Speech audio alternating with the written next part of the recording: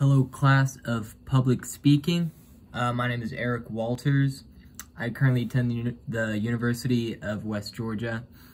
Uh, my major is mass communications with for film, basically. That's what I want to do with my life. I graduated East Coweta High School in 2019.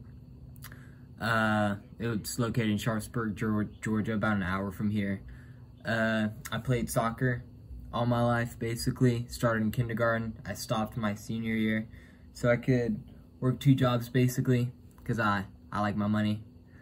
Uh, I've been employed most of my life, other than right now, because I just moved. Worked at restaurants, golf courses, uh, delivery driver, about to be a valet.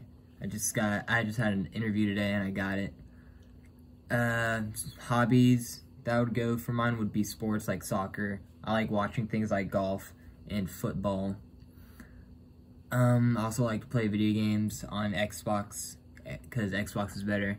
I like Call of Duty, Halo, Assassin's Creed, things like that. Uh, I also like television and movies since it's, it's a part of my major. Uh, some TV shows I'll watch, for example, would be uh, Breaking Bad, The Office, Better Call Saul.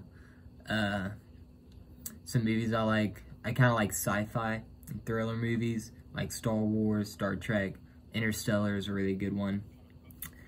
Uh, another one that I just watched recently, Shutter Island, that's really good. It has Leonardo DiCaprio in it.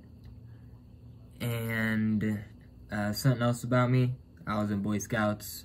Uh, I got Eagle Scout. I think it would help me in my life, who knows. But I'm a sophomore this year, so after this year, if I pass every class assumingly. I got two more years left.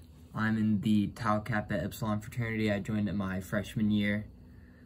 And yeah, I pretty much that pretty much sums up myself. Thank you for your time.